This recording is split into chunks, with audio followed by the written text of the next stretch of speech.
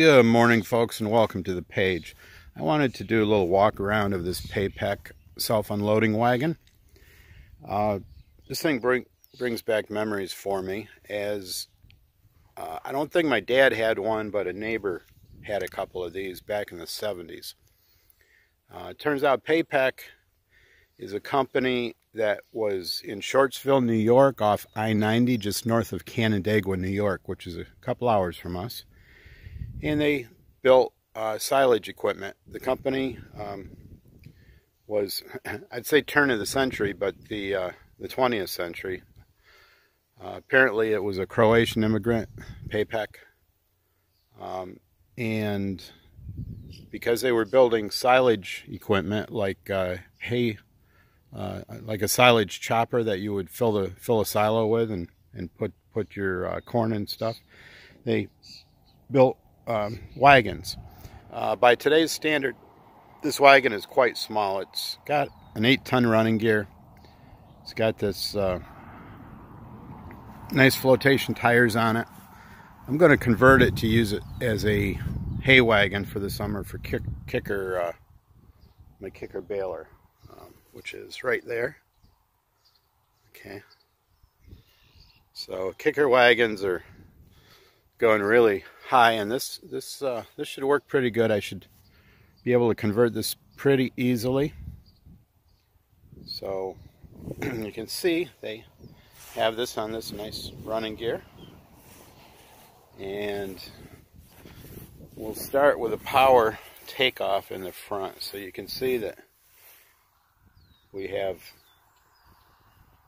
the carrier. There's another video of unloading one of these on YouTube you got this uh, multi-unit gearbox here. Can't really see what's inside there. I'm going to be disassembling that and scrapping it. Uh, I may save. It's always good to have some shafts. Um, actually, there's a coupler. Okay, it's got a uh, shear pin in it.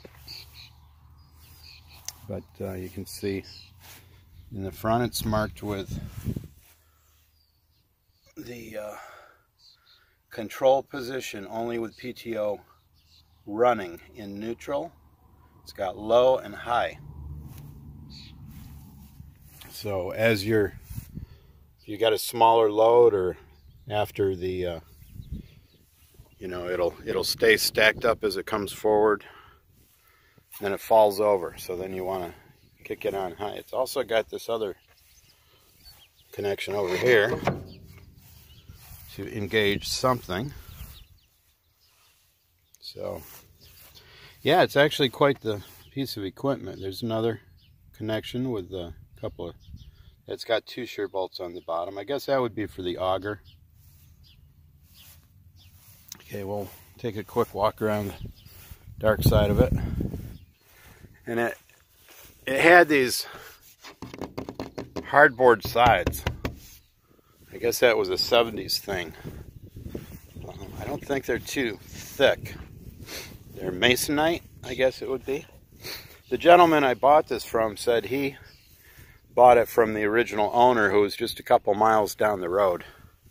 Now you can see here, it's got a pretty good size back on it. And that was, of course, when you're blowing material in it to catch that material. So what I'm actually thinking is as a kicker wagon, uh, I can I can unbolt this back and I can actually move it back um, three feet even and have uh, extra capacity. Okay, so as a table chain, it's got two table chains. Um, pretty much in the back they're independent. You can see they adjust the uh, tension on the table chains. this thing is in really good condition, so if, if I needed a unloading wagon, I got a deal for an unloading wagon. So there's the uh, complete table chain on the left hand side. And it's got these it's got these boards to carry it. So It's really kind of sad to tear it apart. The gentleman said he had replaced the floor with some good lumber a few years ago. So it's got a full plywood floor. Nice three quarter inch uh, valuable plywood. It's got these huge beams. I think he replaced some of those. so there's a look underneath it. And now I didn't quite understand this this pin system here. Not quite sure what it's uh, maybe that's just a I don't know. Does anybody know what that does? Is that just an extra pin for pulling two wagons? It's kind of small for a draw pin. Um, not quite sure where where else it would go if it was a it doesn't even come out. So it's got to be got to be to lock this in there. But uh, the tailgate doesn't really open as far as I can tell. So, yeah. So, move around here. Now, as a kicker wagon, I'm to add some sides as well. Extend it out the back, add some sides. And then in the front, I'll add a gate. Um, I might put a little side on the front because you can see here's the front axle. So, uh, I might extend the front just a, little, a tad. Now the only drawback on using it for a kicker wagon is you can see how high the bed is because it's got to have that to uh, have the chain go under it. You can see it's got these edges in the front and it's got this auger. So yeah, there's no belt.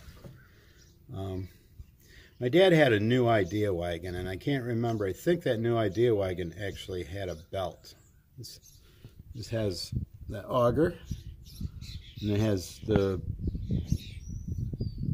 those pieces. Now, those I can, I might have a couple of uses for those. But of course, uh, you know, in modern farming with pit silo, that, that that's a, what do they call it, a defacer or something they put on the excavator or the loader. And they clean out the, uh, the modern silo. So this obviously is a step too. Not real sure how to get up there. Whatever works, right? So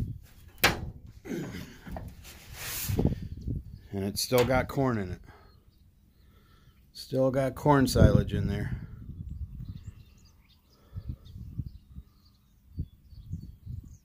Yeah, so it looks like the back was intended to open.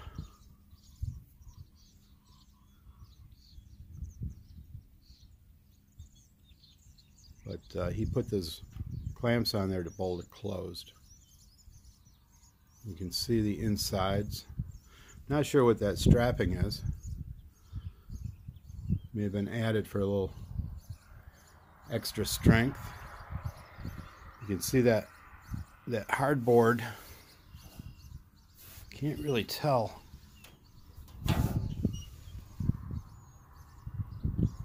Looks kind of a particle board with a masonite face. If anybody knows what that is, uh, let me know.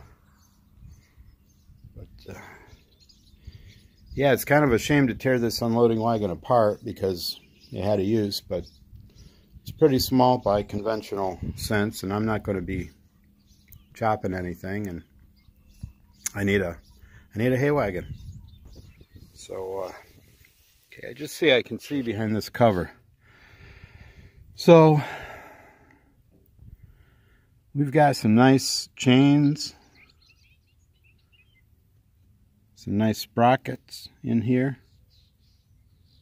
So that's how everything is all connected. of course, I'm going to take this all apart. So, yeah, this actually is a, Pretty nice wagon. Nothing wrong with this. He said he even he even had these made. Had those made and replaced them. So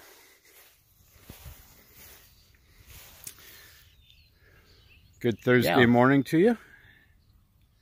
This is May 2021. Now, uh, yeah, this is the end of an era because this is going to come apart. So thanks for watching, folks, and that's the way I do it.